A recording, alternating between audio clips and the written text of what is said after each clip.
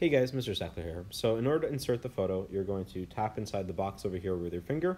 You're going to click on camera in the top left over here, and you're going to enter the camera.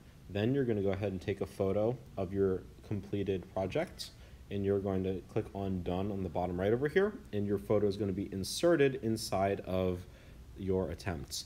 Now, make sure that if you're having an issue, you actually have to physically tap where you want it to go if your cursor isn't there, you're going to notice that it's actually just blank. You don't have the ability to do the camera. So right now I can't tap it because it's blank, but as soon as I actually tap on where I want it, the option lights up. So that's how you insert a photo into OneNote.